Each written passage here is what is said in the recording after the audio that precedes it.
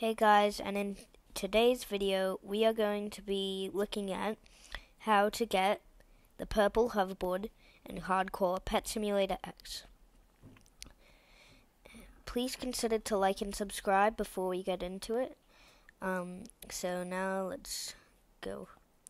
Okay, so what you want to do is go directly from the VIP area to this purple building. So if you have VIP, you can go here.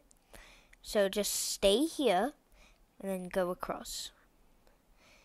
What you want to do after you go across is that you want to go here to this purple building and then unlock it.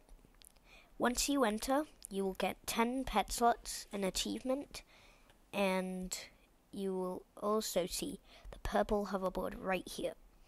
Once you claim it, you'll be able to see this. And there's also some mini clues. There's some paintball, and there's also the high-tech hoverboard, and there's this weird little sign. So it looks like there's going to be a new world. So let's see what they have here. Here they have the stats. Here they have the Pet Simulator 1 huge cat and they also got his Bloxy Awards and his play button.